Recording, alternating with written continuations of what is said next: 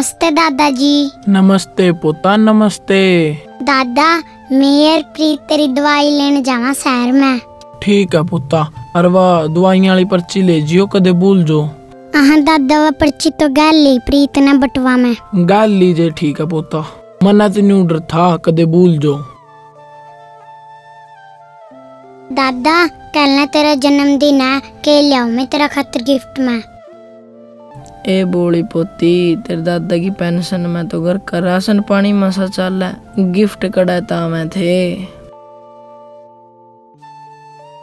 ठीक है दादा मामी बजावा और ऐ क्या पाऊँगी रोटी अपना ख्याल रखिए जान तो पहले मेरी बात सुन पुत्ता पूरा ए के ख्याल रखूँगा मैं अपना ख्याल तो तामे रखियो पोता देख पोता जब तक तारा माँ बाप का साया तारा सिर पे तो उठा है नहीं तो मैंने बहुत चिंता रहे तारी जिस दिन तारी दादी और तारे माँ बाप कार एक्सीडेंट में गए थे नहीं मेरी तो पोता उस दिन दुनिया उजड़ गई थी बस मेरे पे तो ता मैं दो फूल वर्गी पोती रह गई और लाडो मैं तो तारे खातिर ज़िंदा हूँ फिर माँ बाप की कमी तो मर तक कदे महसूस ही नहीं होने दी दादा तना फिर ठीक है पोता तोड़ी जाओ और तोड़े आ जियो ठीक है दादा फिर हम जावा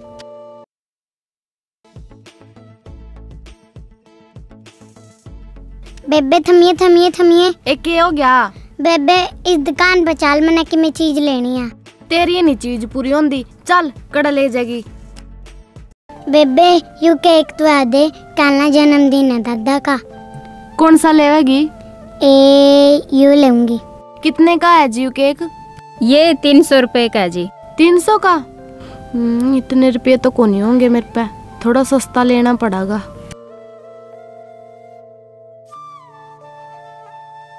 यू कितने का है जी? ये दो सौ का। और यू ये वाला? हाँ जी। ये डेढ़ सौ का। कम से कम कितने वाला है?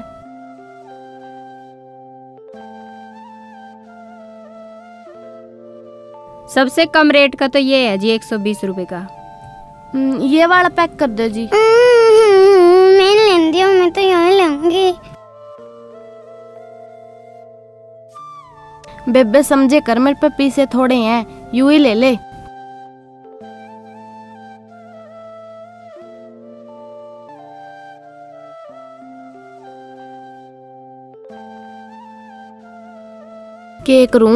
रुपये तो सारे सत्तर पड़े हैं। एरिया छोरी भी जिद पड़ गई। चलो, बुलाऊँगी इसने भी। Sorry madam. अब तो मेरे पे पैसे को नहीं मैं फिर ले जूँगी चले, घर चलेंगे। और केक। को नहीं लेना केक कूक? चल।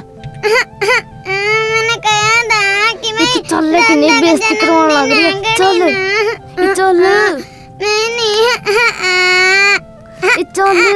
मैं नहीं मैडम कितने पैसे का ये केक?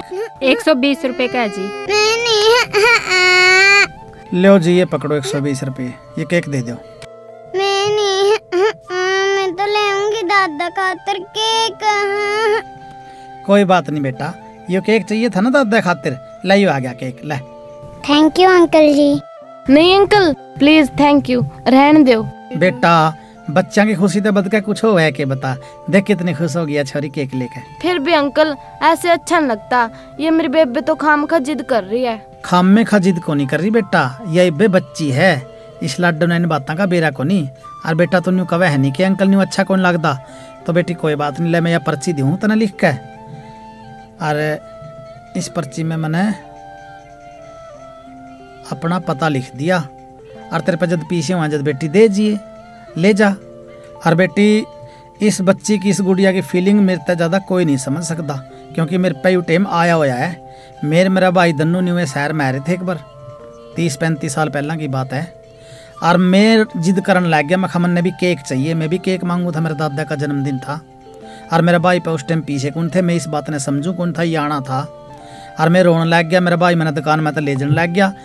न्यू एक सज्जन खड़ा था, और उसने मेरे पे दया आएगी और वो केक उसने मेरे तक दुआ दिया। और केक दुआया पाछा मेरा भाई भी न्यू नाटा था, न्यू कर नहीं, अंकल अच्छा नहीं लगता, हम नहीं लेंदे। लेकिन उसने ज़बरदस्ती मेरे को वो केक दे दिया, और एक पर्ची लिख के उसने भी मेरे भाई का हाथ में दे दी। और मैं उसका धन्यवाद करने लग गया। तो मैंने देखा वो दुकान पर नहीं था ना बैर था, वो जा लिया था। आज तक मैं उसका धन्यवाद करने के लिए उस सज्जन आदमी का तरस हूँ। और बेटी, आज तो यू केक ले जाएगी नहीं। मैंने सोच लूँगा कि मैंने उसका धन्यवाद कर दिया और मेरी आत्मा खुश हो जाएगी। लाडो, नाटिए ना, ले जा। थैंक यू अंकल मैं आपके पैसे ज़रूर वापस करके जाऊँगी।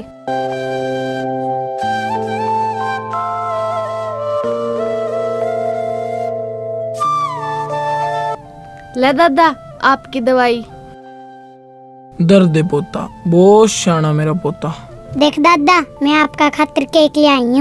कल ना आपका जन्मदिन पे यू केक काटेंगे। ए मेरी बोली पोती क्या ना इतना खर्चा करया दादा के बताऊँ तने? ये छोरी ने तो मेरी बेइज्जती करवा दी होंदी। यू केक ले लिया और पीछे मेरे पे थे को नहीं अच्छा है पोती फिर कुकर ले आए तामियो केक दादा एक अंकल जी खड़े थे। और उसने बेरा पाट के मेरे पे पीछे को नहीं। और धक्का तो दवा दिया अच्छा है। हाँ दादा मैं तो नाटू थी फिर वो पर्ची पर अपना पता लिख के दे गया। और उन्हें बोलिया ऊ नहीं लेंदे जे कोई बात नहीं बेटा इस पर्ची पर मेरा पता लिख रहा और फिर पंचा दियो पीछे और दादा ये रही वह पर्ची। अच्छा है पोती लिया मैं पढ़ के देखूँ ईसा बल आदमी कौन सा गाँव का है यो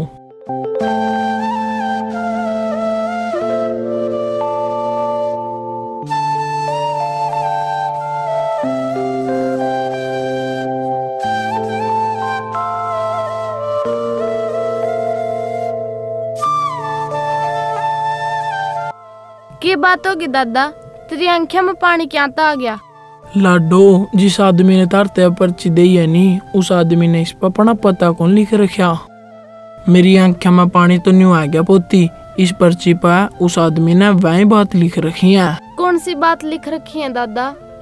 बेटा आज तक तीस पैंतीस साल पहले की बात है मैं एक दुकान पे खड़ा था।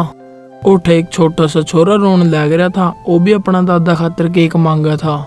और उसका भाई पे पीछे कौन थे? और मन ने उस बालक तय केक दुआ दिया। और उस टाइम में उसका भाई तय एक पर्ची दे कर आया था। और न्यू कहा था, कोई बात नहीं बेटा ईबदार पे पीछे ना हो नहीं, इस पर्ची पे मेरा पता है, फिर पीछे पहुँचा दियो। अरे बेटा, मेरी आंखा मांसू तो न्यू आ रहे हैं। उस पर्ची पे मैं भी पता कौन लिख आया था। यहाँ बात लिख आया था, जो इस पर्ची पे लिख रही है। आपके द्वारा की गई छोटी सी मदद किसी को बहुत बड़ी खुशी दे सकती है। दोस्तों, दादाजी ये बात समझ गए कि कई साल पहला मैंने जिस बच्चे को केक खरीद के दिया था, आज उसने मेरे को मेरे जन्मदिन पे केक दे के और धन्यवाद बोलिया है। तो दोस्तों, यह स्टोरी देख के या ये सीख मिले, जे आप किसी जरूरतमंद की दिल ते मदद करा तो आ मदद हमने कदे ना कदे किसी न किसी रूप में ज़रूर वापस मिलेगी।